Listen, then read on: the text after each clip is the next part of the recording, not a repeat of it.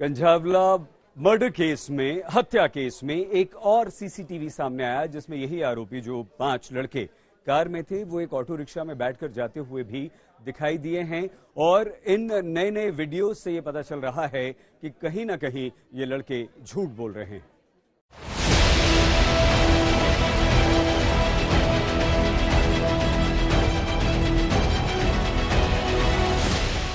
Kanjhawala horror killing का नया CCTV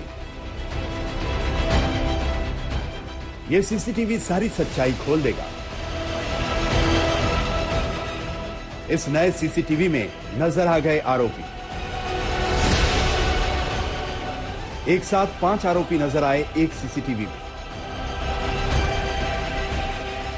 यह सीसीटीवी एक जनवरी की सुबह साढ़े चार बजे का है। यानी हादसे के उस रात का शायद ये आखिरी वीडियो होगा, जिसमें अंजलि की मौत की पहेली का एक बड़ा और ज़रूरी हिस्सा कैद है। इस सीसीटीवी में उस रात के पाँचों गुनहगार एक साथ ज़मीन पर खड़े दिखाई पड़ेंगे। पाँचों गुनहगार वही है जो उस रात बलेनो कार में सवार थे। वही बलेनो कार जो उस रात एक हादसे का शिकार हुई थी। वही कार जिसके अगले पहिए के नीचे फंसकर अंजलि पूरी रात दिल्ली की पथरीली सड़कों पर घिसकती रही। वो अंजलि जो सीसीटीवी में एक जगह बाकायदा ज़िंदा नज़र आ रही। ये सीसीटीवी रात सवा एक बजे का है, जब वो अपनी सहेली निधि के साथ घर लौट रही थी। सीसीटीवी फुटेज में साफ़ तौर पर देखा जा सकता है कि जो पाँचों आरोपी हैं, वो गाड़ी से उतरते हैं, गाड़ी की जो बैक सीट है, वहाँ पर चेक करते हैं कि कभी कहीं पर किसी कोई पर्स तो नहीं छूट गया है, कोई और दस्तावेज़ तो नहीं रह गया। उसके बाद इन्हीं पाँचों में से एक व्यक्ति जो लेफ़्ट साइड की तरफ़ जो एक्सल होता है, यानी जो दो पहिए होते हैं, उसकी तरफ़ नीचे झुककर चेक करता है कि जो बॉडी है, उसकी तरफ़ देखता है।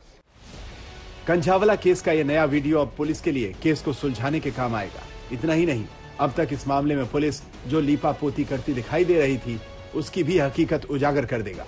यही सीसीटीवी जिसमें पाँचों आरोपी ऑटो से भागते दिखाई दे रहे हैं। एक जनवरी की सुबह साढ़े पाँच बजे पाँचों आरोपी अपनी कार को छोड़ देते हैं और ऑटो में सवार होकर वहाँ से निकल भागते हैं।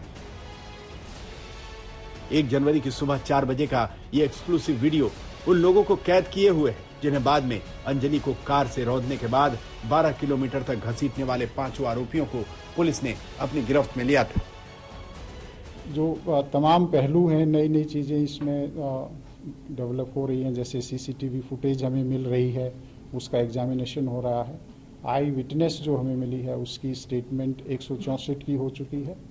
इसके अलावा जो फॉरेंसिक की रिपोर्ट है, अभी उसका हमें इंतज़ार है। इन्वेस्टिगेशन में अभी कुछ पहलू हैं जिन पे अभी काम चल रहा है। अब सवाल तो उठेंगे ही, क्योंकि ये तमाम सीसीटीवी की तस्वीरें भी तो यही बातें चीख चीख कर सुना रही हैं। तीन थानों की पुलिस 12 किलोमीटर का दायरा, नौ पीसीआर वैन और कागजों पर ही सही दिल्ली वालों की हिफाजत के लिए गश्त करती पुलिस। इन सब के बीच एक कार में सवार पाँच हैवान, तेईस साल की एक लड़की को देश की राजधानी की चमकीली और पथरीली सड़क पर पूरे 12 किलोमीटर तक पहियों तले रौदते रहे रौदते रहे और घूमते रहे। कब लड़की की मौत हुई, किस पल वो लाश बनी और कैसे वो लाश एक मोटर कार के पहिए के नीचे फंसकर लगभग दो घंटे तक पथरीली सड़क पर घूमती रही। तीन थानों की पुलिस 12 किलोमीटर का दायरा, नौ पीसीआर वैन और कागजों पर ही सही दिल्ली वालों की हिफाजत के लिए गश्त करती पुलिस फिर भी न उस कार को देख पाई, न उस कार में फंसी लाश को। जिस रात या सुबह यह हादसा हुआ, वो इकतीस दिसंबर की रात थी। हर साल 31 दिसंबर की रात दिल्ली की सड़कों पर दिल्ली पुलिस की सबसे ज़्यादा गश्त होती है। नए साल के जश्न में शराब पीकर गाड़ी चलाने वालों के लिए खास तौर पर सबसे ज़्यादा इसी रात अल्कोहल टेस्ट भी होते हैं। शुरुआती रिपोर्ट के मुताबिक कार में सवार पाँचों लड़कों ने शराब पी रखी थी। पाँचों लड़के एक लाश को अपनी कार से दो घंटे तक 12 किलोमीटर के दायरे में घसीटते भी रहे। अब ऐसे में सवाल यह है कि इकतीस दिसंबर की रात जब सबसे ज़्यादा पुलिस वाले सड़कों पर होते हैं तो फिर वो पुलिस वाले कहाँ नदारत थे?